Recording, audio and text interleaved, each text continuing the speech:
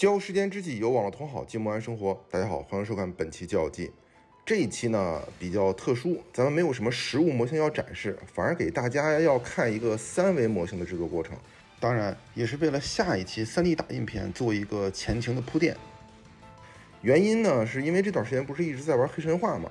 打到红孩儿二阶段的时候，夜叉王的造型真是让我眼前一亮，我是一眼喜欢，而且是非常喜欢夜叉王的设计。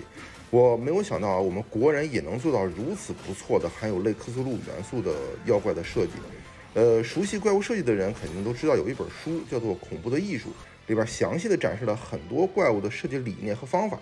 而我呢，也一直对这个类型的设计比较感兴趣，所以看到夜叉王之后呢，那个兴奋劲儿就上来了，想尽快入手一个盘一盘。所以之后几天呢，我其实一直都在想，能不能从网上买一个三维模型数据，然后自己打印出来做喷涂。但无奈呢，我在网上找到的都是这样的、这样的和呃这样的，基本上呢就是不知道谁从游戏里边导出了一套游戏的简模，然后呢就开始贩卖了。但问题是，夜叉王是这样的吗？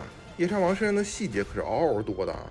我觉得网上这帮人呢，完全就是为了骗钱，版权不版权的咱就先不提了。当然呢，我这个也算二创，也是没有版权授权的，因此呢，呃，想跟我要这个三维数据的就别开口了，我是肯定不会提供的。而这期视频呢，也真是制作不易，还请同好们抬手落指，按住鼠标，我就不要脸的在这里要一个赞和三连了。既然想要还原度高的模型，又不可能跟游客要，也没钱买版权，那咱作为一个从业多年的三维模型师的优势不就来了吗？没有枪，没有炮，咱们他妈自己造。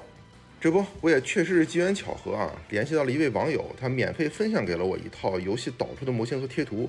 但这位网友呢，不愿意透露其 ID，在这里呢，我也就不做公开了。剩下的事情就比较好说了，通过一些技术手段，我反求出了模型的所有细节。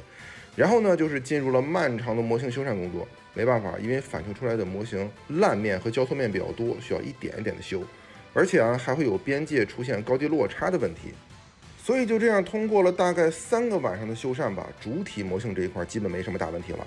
接下来呢，还是缺衣服和头发，但由于衣服和头发呢需要跟着 pose 进行调整，索性呢就先把 pose 摆完再说。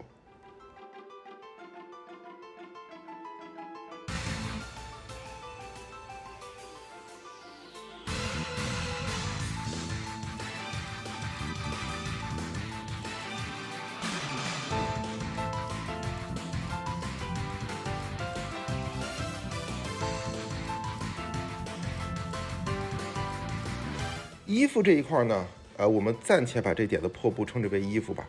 由于是游戏模型，需要节省资源和布料结算的原因，因此呢，这一块的布料都是单面的，这样是没法打印的。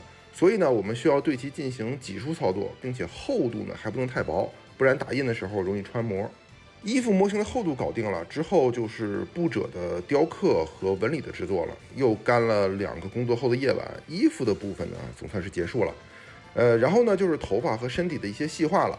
头发这一块是随着 pose 的需求做好样条线之后，然后挤出成体块，还要做进一步的调整和发丝的雕刻。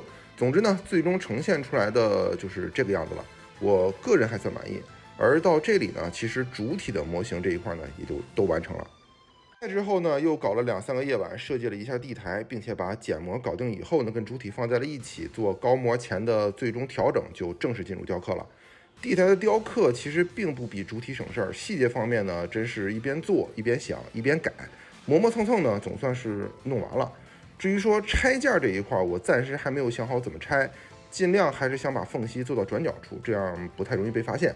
但这都是后话了。好了好了，咱不说太多了，不然成模型教程了。我们来看一看整体的三维模型展示吧。我知道呢，这一期可能有很多同好们会看得莫名其妙，甚至比较枯燥。但这毕竟是第一期，之后呢还计划会出两期，会把整个手办的制作过程和喷涂过程录制完成并分享给大家。但时间方面呢，估计战线会拉得比较长，还请同行们谅解。好了，我也是第一次录制这种类型的视频，有什么不足呢？还请同行们海涵。那这一期呢，也不知道算什么，就算是杂谈吧，就到这里了。我们下期交集再见。